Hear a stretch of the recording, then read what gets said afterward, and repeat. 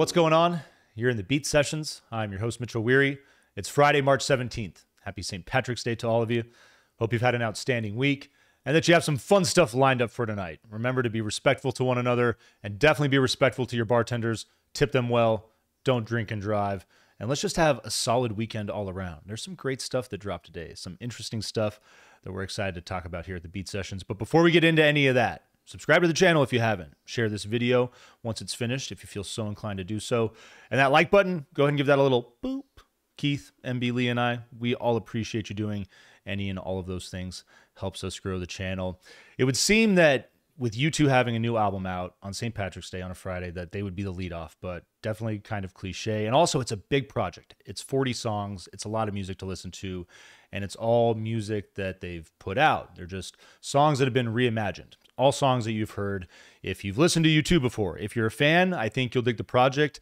If you're not a fan, I think there's this element of self indulgence with it that is so typical of Bono that it might just even exacerbate that anymore. So we're not going to lead off with that. We're going to jump next door and we're going to talk about Sleaford Mods. This band is outstanding. This new record, UK Grim, is absolutely outstanding. If you're not familiar with these guys, gotta climb aboard. They put this record out on March 10th. It is their 12th studio album and their follow up to 2021's Spare Ribs. That was the record that got me into these guys. The record that that I found that that led me to discover them. And as we grow older and discover music, there's bands that that we like and there's bands that, you know, we like a little more, but then there's those bands that have that impact on us that you know it's rare that that comes along. I feel like the last time I felt that with a new band was the Black Angels when I discovered them. So Sleaford Mods, what they're doing, so unique. And and their style is just it's so raw, it's so gritty, it's so in your face. And I love that about this band. A lot of uh, a lot of politics as far as you know influence in music in the last few years, given everything that's going on. And so you have, you know, you have some artists that I'll just call them tourists. I feel like that they chose to have moments where they dabbled. And this is not an outfit of tourists. Andrew Fearn and Jason Williamson just bring it. They bring the thunder, unlike any other act out there. You know, if Rage Against the Machine decided to get back together and, you know, start making new music, they might match what these guys are doing, but I don't think there's anybody that comes close to these cats. Jason Williamson, he is quick witted and vociferous and just damn right funny and insightful and might be one of the coolest lyricists out there today. He's got this excellent recitative style, but the rhythm and the flow of his rhyme schemes are it's just it's remarkable what he does. It's it is so unique and so unlike anything out there. And I mean, you think of you think of those the, the timing structure of some and I think of someone like Biggie Smalls. I think of some of these the the best hip hop artists that have ever existed and what they're doing as far as the patterns that are there with the words and the syllables. And this man is just downright good at what he does. He is just uh, phenomenal to listen to and his criticism is is not it's not biased. It is full forced in your face uh, objective as to what he's seeing going on, Fo- focusing, you know, on, on UK politics predominantly. But he's not afraid to discuss anything in the world and obviously what's going on in the UK. I'm sure there's a lot there that's relevant to what is going on in the rest of the world. So I just dig that he he's not, you know, passively taking one side and and camping out in a, in a political party like some of these other artists have done as well. I think that's really important. I think that if you're going to be objective, if you're going to, you know, a lot of folk artists I feel like are uh, are guilty of this recently. But it's important to be objective. It's important not to alienate your audience. And I think that Jason, he has uh, he just has this this anger, this intensity in his tone, in his words, and what he's trying to say that captures so much of what I think so many people are feeling. And that's what really makes this cat brilliant. Andrew, his counterpart, as far as the music and the production, I don't think there's anybody out there that does as much as this guy can with so little. You know, looking at U2 in an outfit there that you think of a guy like The Edge and using very little to fill space and you know, you listen to you listen to what Andrew puts together and it's just like, "Oh, here's a shitty beat and I'm just to tap on the table. Jason, go to work." And and they make a banger. I mean, it, like it's they you listen to the production on these tracks and it's so austere and it's just downright rough and and gritty and raw oftentimes, and as it should be because you know the intensity of the tracks and what Jason's bringing to it should match that. But it's just incredible the way that these tracks build, the way they work within this minimalism, and it's just so unique in the different just sounds and elements that you know one might think nothing of just tapping on a wall, but let Andrew hear that and it's game on. And I love that about the man. This is a this is a really cool band that I think is pushing the edge of music in so many ways that so many bands try to. Oftentimes it feels forced, and I think that's the cool thing about both of these guys is that everything this this project feels so authentic and it's so prolific too.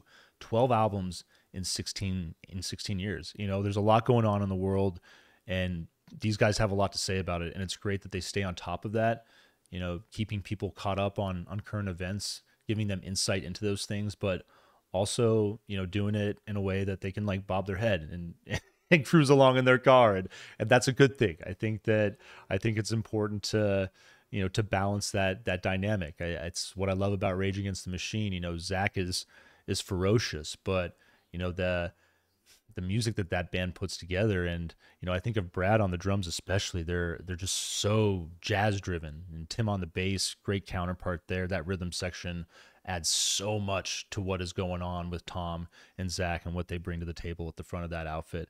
So sleaford mods if you haven't checked these guys out throw this record on. Listen to all their stuff. Uk grim title track is going to open this thing up. Such a diverse range of music on this thing. Heavy pulsating synths on this thing. That's a, a big element that you're going to get for the most part. Pretty raw, simple beats as well. Uh, sets a dark tone and I really like the way that when the beat hits, the uh, the synth is like got this like it, it, alters a little bit and then it settles into this groove. And you talk about the way that those little components can come together real quick, and then there's this guitar that's working in, and you talk about that minimalism, and you get a lot on this uh, on this particular record. There's moments where like a piano just might work in, uh, and just a couple of tracks even that that feel kind of out of their wheelhouse. They just feel like a full on composition with all the elements there. And so, it, like, I love that about this outfit as well. You get hip hop, you get mod music, you get punk, you get industrial. You, mean, there's so many different elements at work here seamlessly as well. It's, it's just another another stroke of their brilliance. DIWhy, I love this DI and then WHY. This is a I love the tr- love the title of the track. Thick drum beat reminds me of the Deftones, the tone of the uh, the way that this thing opens up in the mood, and then the the rest of the beat works in. This thing is freaking fire, and there's a lot on this record that's reminding me of early Beastie Boys too. That austerity is uh, is really just so much fun, and it's on play here brilliantly. Cool guitar bit, and that song, the piano's fire as well. One of my favorites for sure. Force 10 from Navarone is your third song. Hits with that groovy electro funk feel. It's um uh, got a vocal uh, appearance from Florence Shaw, and she's just incredible on this track as well. Great little, uh, great little duet, duet there, and then uh, a bit of surf rock at work on this song. It's a, a nice change of pace. Tilldipper, your fourth track, uh, just so such a variety of music. Got this frenzied punk energy uh, with this track, and uh, I, like I just I really like the way that this thing is moving along up to this point with that song, the intensity there. Hits next with On the Ground, which is a um.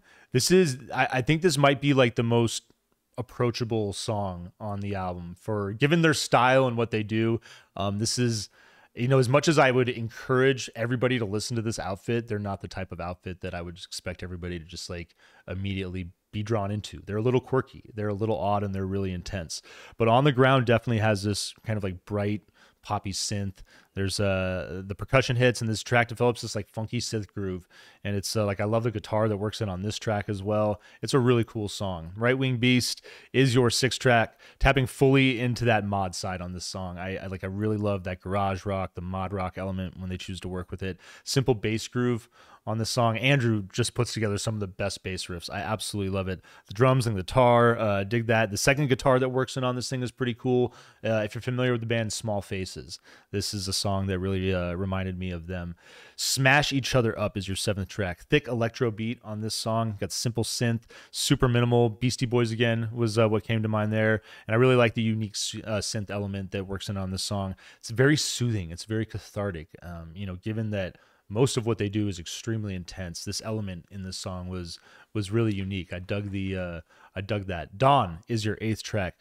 Um, shitty sounding electro beat, and that's what I'm talking about. It's just I mean, Andrew can do anything with nothing. It's just incredible. The man's brilliant. Uh, simple element sounds, um, and that that work in the uh, the piano uh, on this thing. It sounds like it's in an empty room. I just love the echo and this thing at work.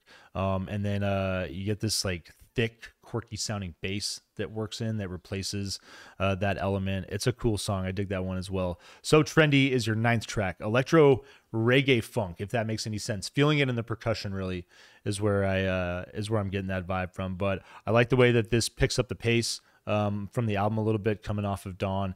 And it's uh, just a completely different feel uh, towards the uh, towards the end of the track that that kind of like takes on a punk vibe as well. It's a cool dynamic in that. I Claudius, your 10th song, mellow vibe. It's got this lounge feel. Uh, that's really cool, kind of pulling back again.